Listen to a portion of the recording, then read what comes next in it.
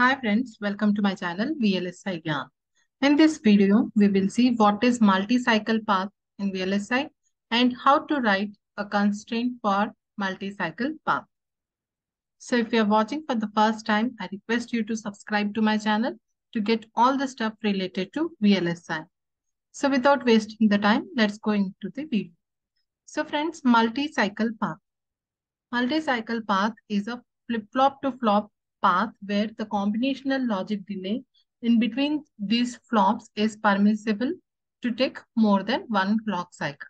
Like you have a flip-flop to flop to flop path and between these two flops you have a logic, combinational logic, which is a little bit uh, slow or we can say it's a bigger one. It takes more than uh, one clock cycle to propagate its output. So that time what will happen? The next uh, flop will not be able to capture the data which is sent by the uh, launching flop in the next clock cycle. So that time what is required? You need to provide more number. You need to provide some more um, number of uh, cycle time for the capture flop so that it can capture the data. So these paths where the data is not required to reach the capture flop within one clock cycle as discussed. These are not required to be uh, we reach the destination in one clock cycle. Multi-paths are the paths with in intentionally, as we have discussed, which are intentionally requiring because there is no such kind of error or anything. There is a combinational logic which is taking more number of uh, clock cycles. So because of that, we require more clock cycles to reach the uh, capture flop so that the capture flop can capture the data. So information cannot possibly be inferred by the timing analysis because this type of the information the designer has to specify. So for that, what the designer will do, he will provide with constraints. So these are the multi-cycle path constraints. So through the multi-cycle path, the designer will tell the tool the uh, for while doing the STA timing analysis that these are the paths where you don't have to check that the setup and the hold requirements are like for the one clock cycles. We have certain uh, setup and hold checks for one clock cycle. If you are transmitting the data from one flop to the another flop, you have the default setup and hold check. If you are not uh, mentioning any multi-cycle path, that tool will think uh, will not be able to recognize whether it is a multi-cycle path or a normal path. So it will uh, check the in the same way. So to avoid that, anyhow, this type of the circuits, if we are not providing any information, they will definitely fail. So as a designer, it is your responsibility to provide the tool, the information that these are the multi-cycle paths which require more number of the clock cycles than uh, the normal operation. So uh, how to, uh, let us see an example. Like, uh, as I said, this is a one flop and this is the another flop. In between these two flops, you can see a big green color uh, uh, thing that is nothing but the we have like a combinational logic okay?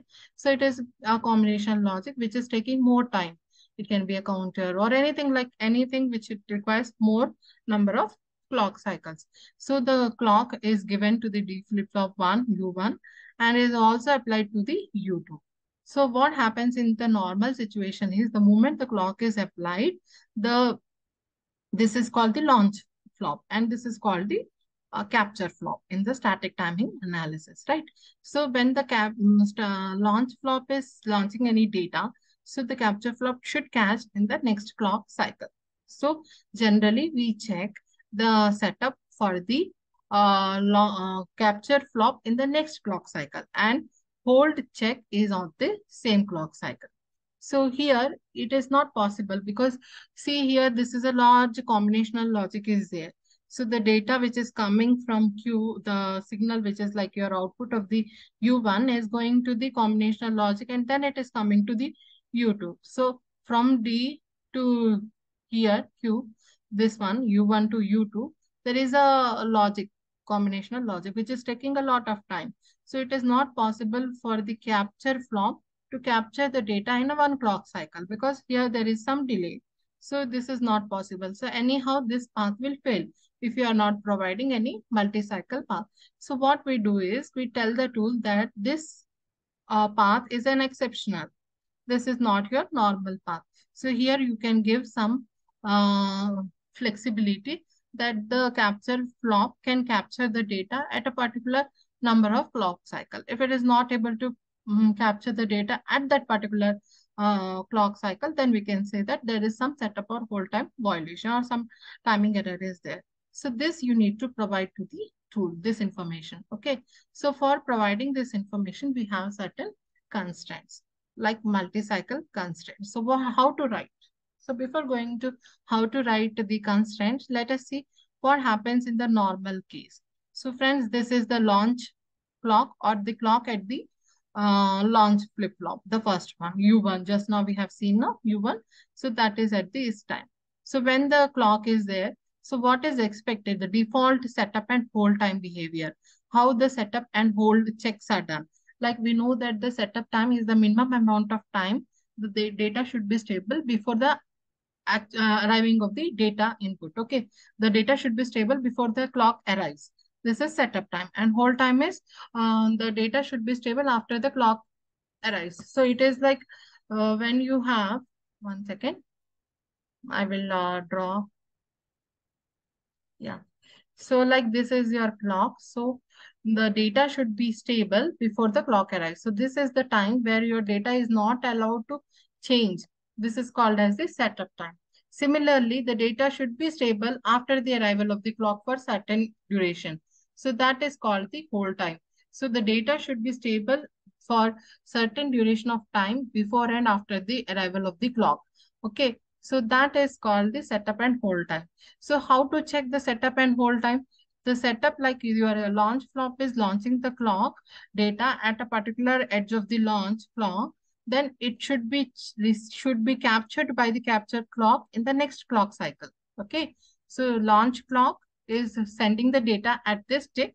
So it should be captured by the capture clock at the second edge of the clock. Okay. So this is the time given for the clock, one clock period for the uh, data to be captured by the capture clock for setup. But for the hold, we check on the hold on the same clock edge. Okay. So friends, this is the default behavior. If you want to go into detail about the setup and hold time, I have made a separate video. You can check. I will provide the link in the description box. So I hope that this is clear. The basic uh, concept is clear. Like when you are uh, sending the data at, uh, suppose you are sending the data at this point.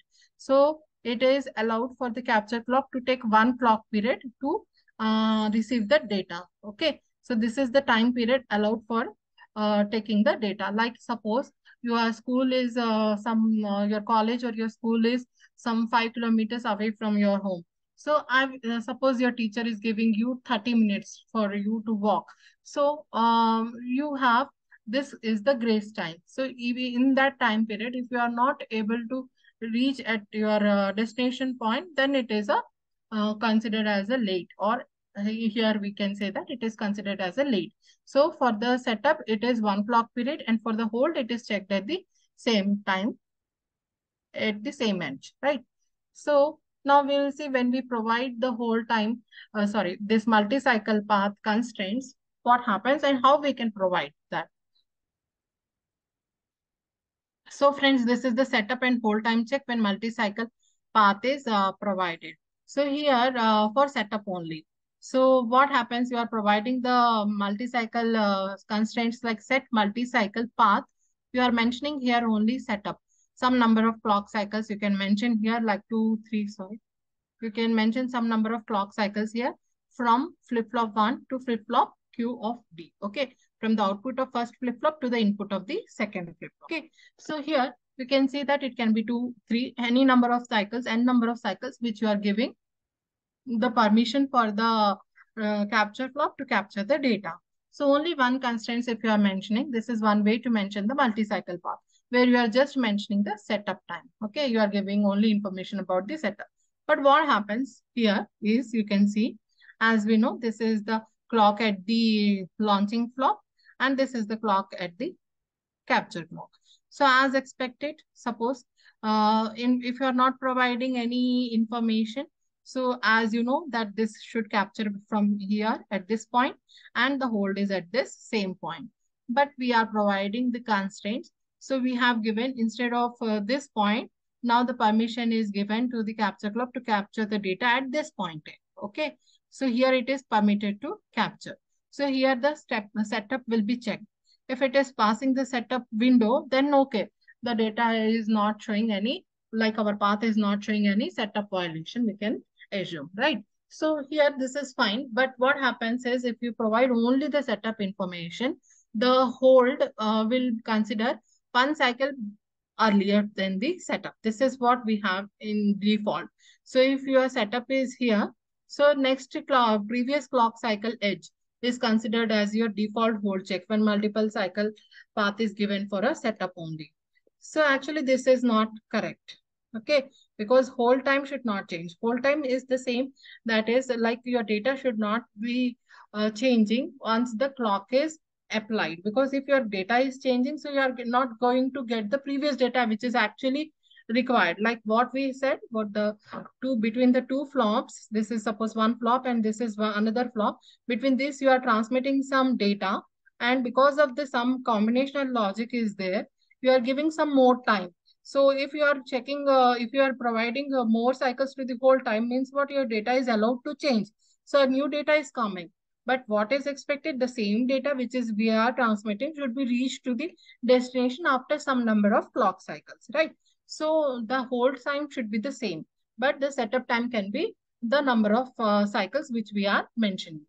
So the, this will not work because what happens here, you are providing only the setup time.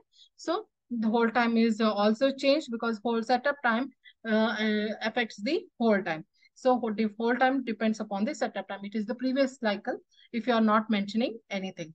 So to avoid this confusion, what we can do is we can provide a constraint for the set hold also. So how can we do that?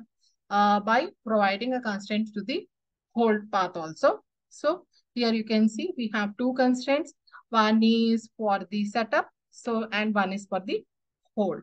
So what I have given here, uh, see, this is the hold path constraint. So at this point,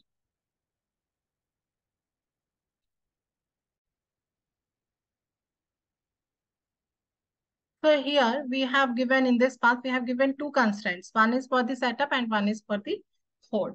So first we will go with the setup and then I will explain how this is uh, correctly checking the hold path, right? So first of all, you can see that as in the previous example, we this is the clock at the launch flop and this is the clock at the capture flop. So the data is launched here. So you are giving two cycles. So actually this is the one and this is the two. So it is allowed to catch at this point, right? So at this point, it will check the setup one. So setup check with the MCP constraint, multi-cycle path constraint. This is true. But if you are not providing this hold time constraint, what will happen? It will take one cycle below. So it will try to check at this point. So to avoid that, we can give one more constraint that multi-cycle path hold one from flip-flop one output to flip-flop two input. So how it will work? Generally, like your hold cycles, the hold cycles are calculated uh, using this formula. Like you have the setup value, whatever you are mentioning in the uh, for constraint. So that is uh, your setup value. Here, how much it is? It is 2. 2 minus, it is 1 minus the hold cycles. Okay. So what is this here? Uh, setup is, I, I we know that it is uh, 2 so 2 minus 1. And what is the hold cycle value we have given? It is also 1. So 2 minus 1 is 1. 1 minus 1 is 0. So it is checking at this point. Always remember that if you are providing this as a 2, you have to take it this as, if this is n, you can take it this as n minus 1. So what will happen using this formula, you will be taking at that point only where it has to be. Try to understand why we are checking the hold at the beginning because we want to capture the data which we are transmitting now. And if we are giving only time for the data to reach to the destination, we don't want a new data to enter into this uh, scenario. So what we are doing is we are holding the same data for this time. So hold check is this and the time is given to capture the uh, same data by the uh, providing this setup constraint, multi-cycle path constraint, uh, and using this setup and hold. So this is how we write the constraints for the multi-cycle path. Uh, once again, I'll repeat that multi-cycle paths are the paths which require more than one clock cycles to uh, reach the destination, okay, to reach the capture flop. Why? Because there can be some logic which is taking more number of uh, clock cycles. So here you have to remember one thing that you have to provide this information to the tool. The tool has no knowledge about which is a multi-cycle path. So you have two ways one is giving uh, using uh, only setup path, but the problem is that it the tool will take the hold as uh, if you are providing uh, setup as two, then it will take one. So what will happen? There is a chances of the losing the data which we are want to hold for a particular uh, clock cycles, right? So what we can do is we can uh, add one more uh, constraint considering the hold check. So the formula is hold cycle is nothing but equal to setup value minus 1 minus hold cycle. So hold cycle constraint value. So it is 2 minus 1 minus 1. So it will check at this point. The hold check is at 0 point, right? The moment the data is launched, it is checked whether the data is stable at that particular moment or not, whether the data is not changing at this clock moment or not. This is for the hold time. And here, what you are doing is, you are checking whether the data is available stable before the arrival of this clock at this point. Okay. So if this happens, what we will get? We will achieve a proper data at the capture clock after this number of clock cycles. So friends, this is all about uh, the uh, multi-cycle path and how to write a multi-cycle path using these constraints okay? So i hope this video has given you a basic idea about how to write the multi-cycle paths and what they are in vlsi used in uh, static timing analysis. Uh, please like share and subscribe. And if you have any query uh, please uh, put it in the description box. I will definitely try to work on it thank you. Thanks for watching